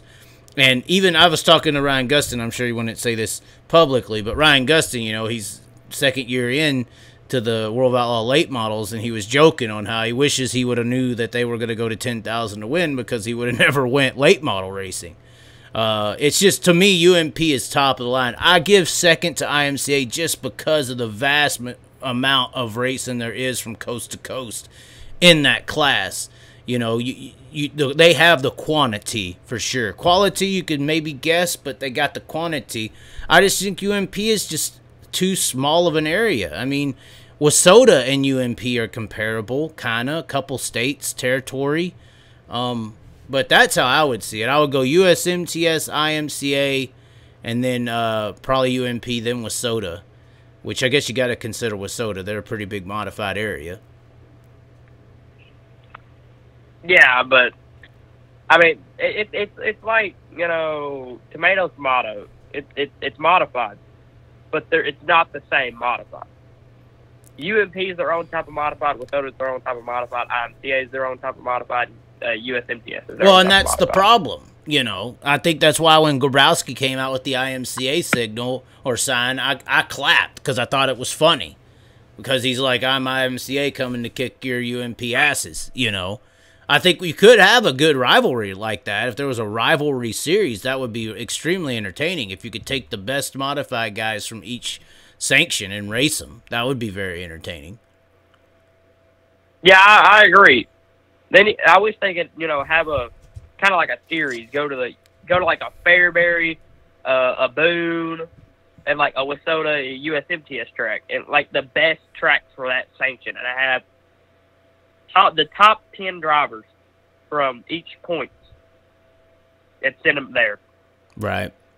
All right. I feel like IMCA don't get much credit because they're considered, and even by me, I would say those are crate modifieds.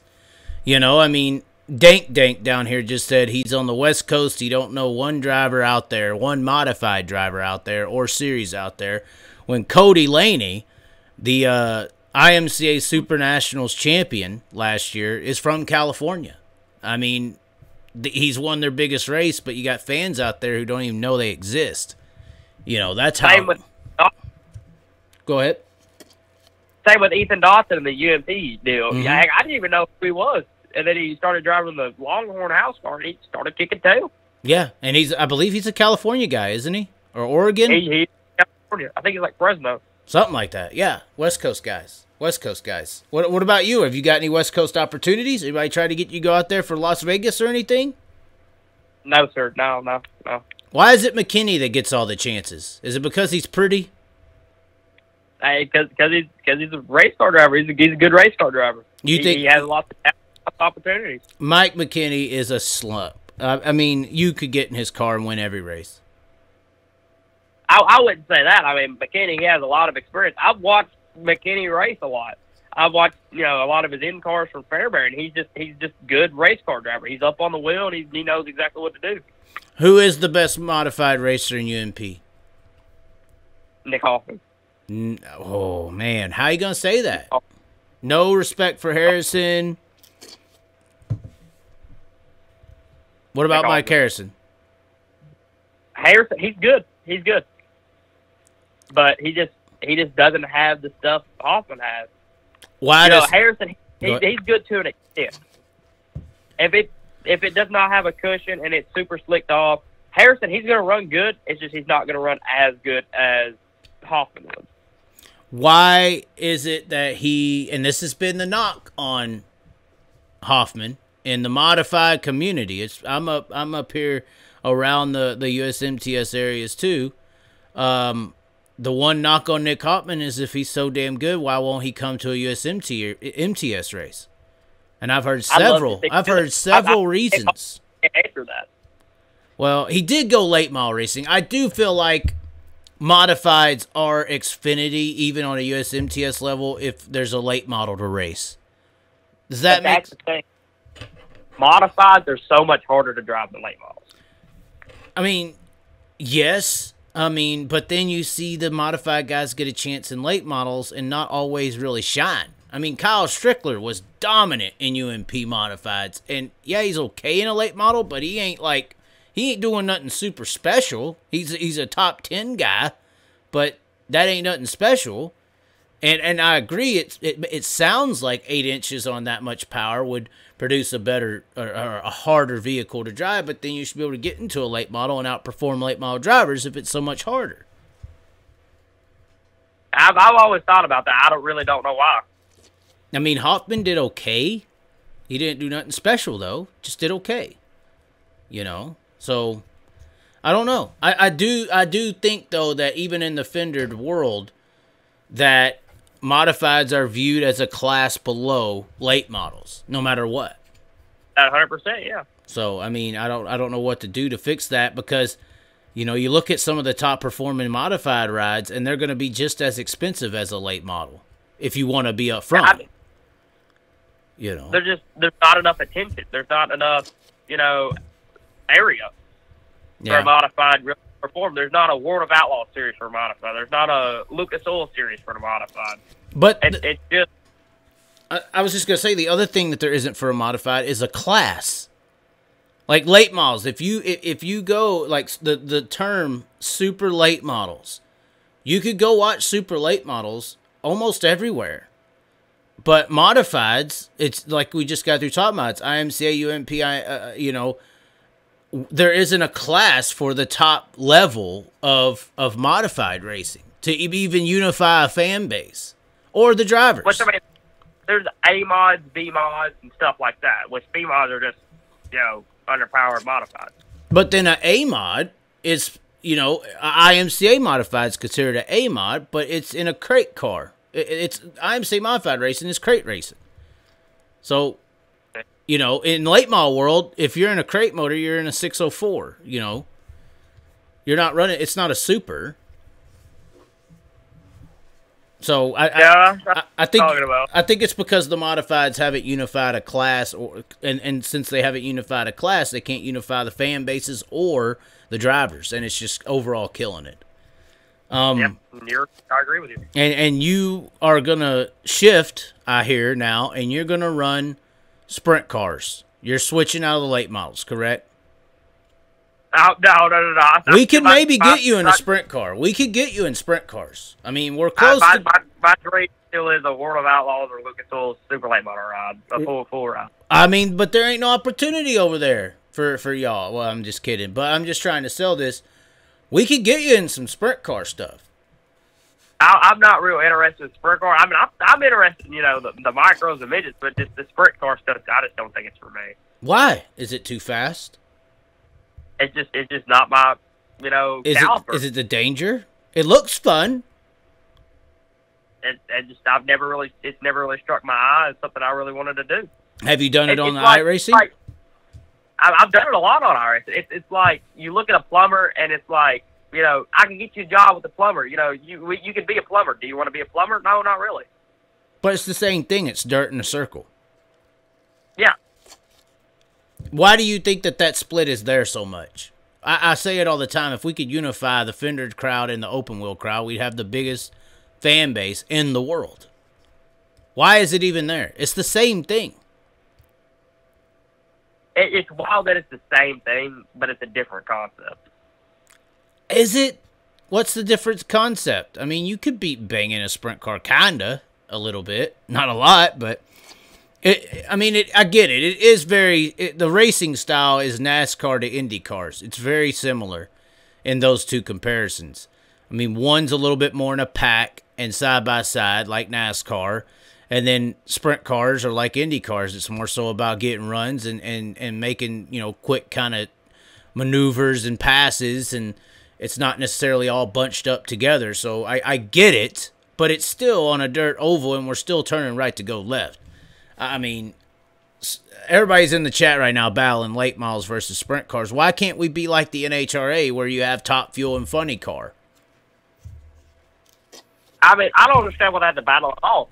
Sprint cars, late models are still two great positions in this sport. But there's always been a traditional battle between the two. Fan bases, drivers, you know, they're always talking shit. Yeah, but it's just it's one of those deals. Sprint cars are, you know, they're the they're their own creature, and late models are, you know, just their own deal. So you would reject a, a, a test in a 410 wing sprint car? I don't think I'd reject a test. I'd, I'd like to, you know, start off in something smaller, like a 305, and work my way up. But I just, I don't know, just just, just for the the equipment sake, you know, uh, uh, the 305 would start me off like I started in a, you know, a crate car. Well, you know, me out, but those, those It well, the sprint cars. open. I I think you would learn bad habits in a 305, though. That's why they tell people not to run 305s. It just give me a, you know, familiar experience in a sprint car because I've never, I just don't run sprint cars. Well, and they're very touchy on the wheel, you know. So, uh, Yeah. and they are they look very dangerous. They look dangerous, although apparently not more dangerous than a truck at Knoxville. That blows my mind. Still blows my Yeah, mind. yeah. Okay. Well, I guess we can let you go. It is a, it's probably past your bedtime. Um, Nah, that um, I'm homeschooled, but yeah, yeah, it, it, it it's getting pretty late. But yeah, I mean, I, I appreciate you letting me come on and you know, uh, sell my side of the story to you, and you know, kind of, a uh, get a little bit further into this deal that we, you know, we've been battling about the past few days on uh, social media. Well, I mean, it's it's. I definitely think that you know I kind of halfway wanted this to be able to happen, just also for, like I said, I know the sport. I didn't know you. All I got to know about you was that example.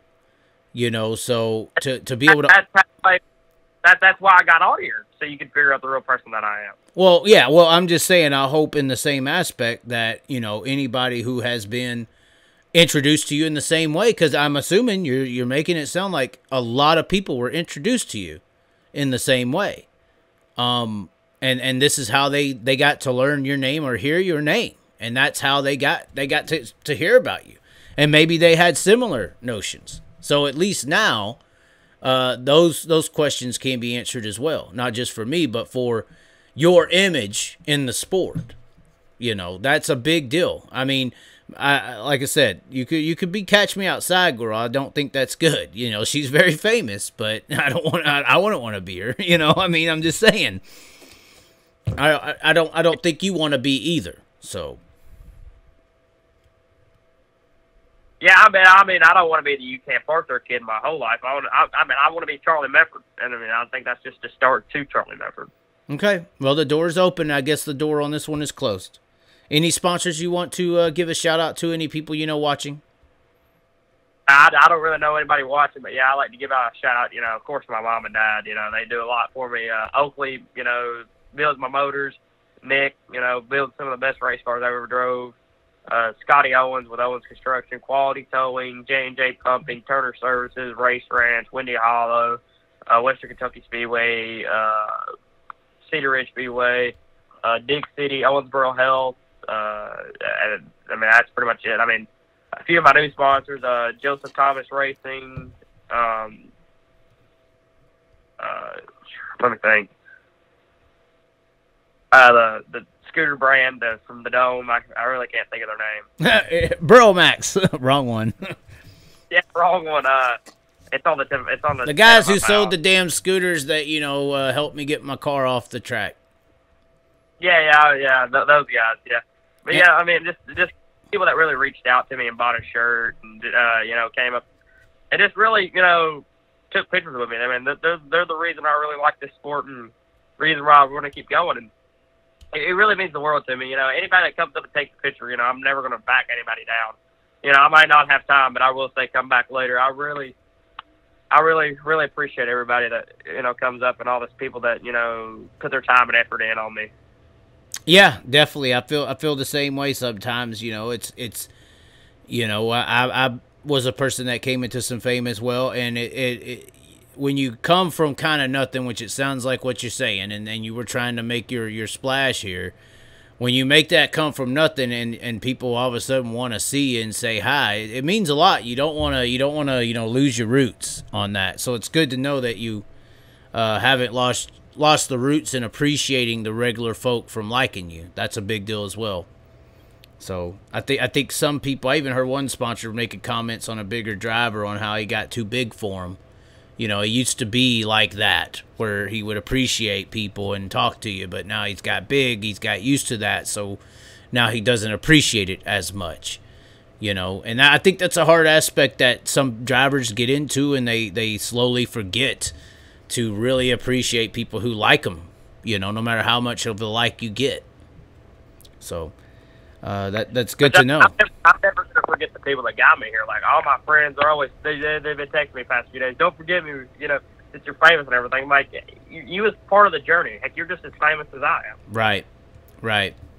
Yeah, I'll tell you something that was very funny. Uh, I believe in in God or a God or a universe or something extremely. I believe in listening to signs and things that are very interesting, and my girlfriend will testify to this. So, where I'm at, I had uh, raked all the leaves and placed them in one spot outside in the front yard. This was a couple weeks ago, waiting for the people to come and remove the leaves. Okay. So I parked my car right there in front of the leaves. I'm waiting for somebody to say move it, or if I'm gone while they while they pick it up, whatever. And all of a sudden, the day before I'm supposed to leave to the dome, there is a police order sign that says no parking, temporary police order, stuck right next to my car in front of the leaves. Now I didn't know at the time, like I can't park there. What's going on? And and Jack, I went. I'm telling you, this was last Thursday, bro. can't park there. I was I was literally I went to the girl. I was like, it's t- like I don't know what this sign. I was telling her I was like, I don't know because I take signs very literal. I was like, I don't know what this sign means, bro, but it's saying I can't park her. I don't know if I was supposed to move or what. You know, I took it very spiritually. And then exactly 24 hours later, after this whole situation went down about me not being able to park there, this motherfucking shit happens with this punk ass kid junking a car making fun of it. I can't believe it. But anyways, yes, that's what that was the sign. You can't park there. I got that last Thursday. Last Thursday, right here. Come on, Chaz. G- give me a three, two, one. Three, two, one. You can't park it. there. There it is. I, I, I can't scream it. I can't scream. Y- y- y- You can't park there. I can't do it. Yeah, at least you said it. At least you said it. But the, the the God said it to me last Thursday, and then you came to reality. So that's what happens. Manifestations. Yeah, there, there it is. You, you you got the you can't park there out of the way. Oh my God, you can't park there. I, I can't wait to see uh, your your your iRacing ride for this one-on-one match that we're gonna broadcast live. Oh yeah, I'm gonna have to have, uh, uh, I'm gonna have to have one of my buddies make me a rap. Oh yeah, I yeah, can, but give, give, it- give it to me. I need I need to figure out when this is. we got to do something. I think that could be good. We could promote a pretty big race. I could get David Gravel in there, get a couple people in there that that race, get some names in there. We could have a pretty big race. Tim Sims is a big supporter of mine. I don't know if you know who that is, but uh, No.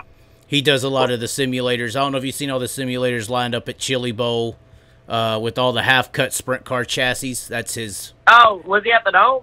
Yes, he was at the dome. Yes. Ah, yep, yep, yep, yep. I've Yeah, seen him. that's Tim Sims, and I have a pretty good affiliation with him, so we could make a pretty big iRacing event out of this. We really could. Hey, what are we? What are we gonna run? Sprint cars, late models.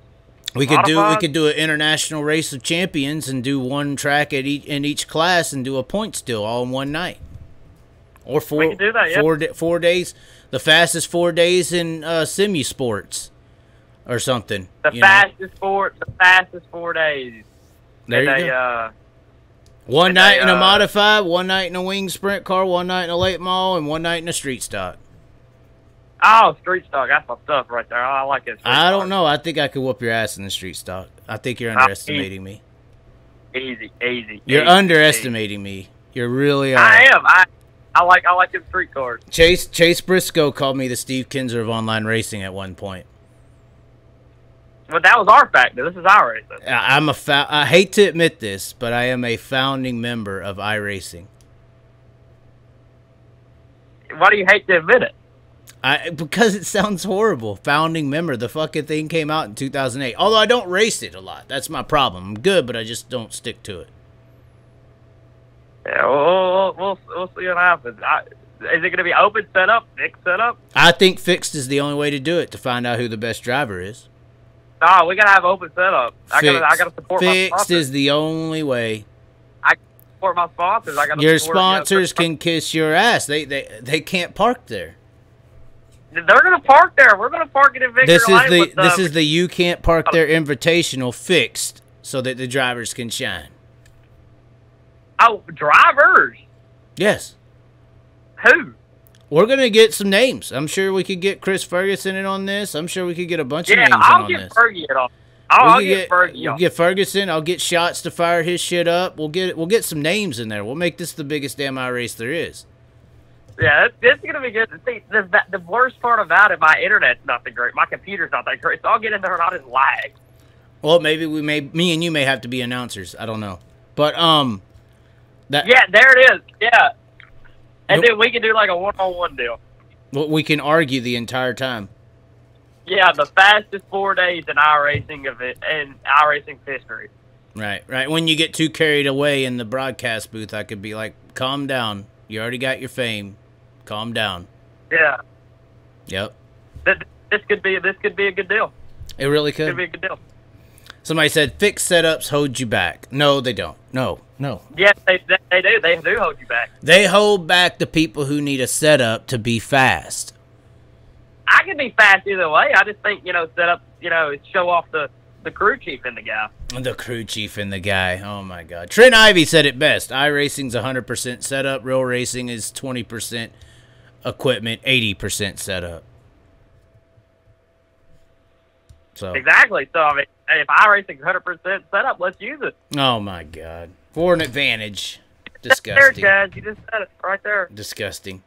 I'm here in Tennessee. Where are y'all at? I am in Iowa, and I believe he is in Kentucky. So, anyways, uh, all right. I guess we'll let you go. I don't think there's any more fan questions, but uh, I guess thanks for tuning in. I didn't see this coming really, but uh, things happen. So, Things do happen. The universe always delivers.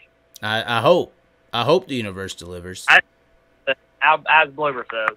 Well, and now and now I have your number, so I could start shopping you for uh, midget and Chili Bowl rides. Yeah, phone's always up. I'm pretty successful on shopping talent and dirt racing. Hey, I, like I said, I'm I'm I'm up for the challenge of the micro. All right, all right. We'll see how it works. Uh, thanks for thanks for calling. I thanks everybody else for tuning in. I guess we'll get out of here. Um, and uh, we'll catch you next time. I'll be sure to cut this up and uh, put out some different uh, clips throughout that uh, me and Charlie uh, hit on there, and even with Spike. Two hours and fifty four minutes, three hours have went by. Wow, it is late. Thanks for tuning in, ladies and gentlemen. We will catch you next time here on Long Live the Chaz. That was Charlie Mefford and Spike Fast Racing. We will catch you next time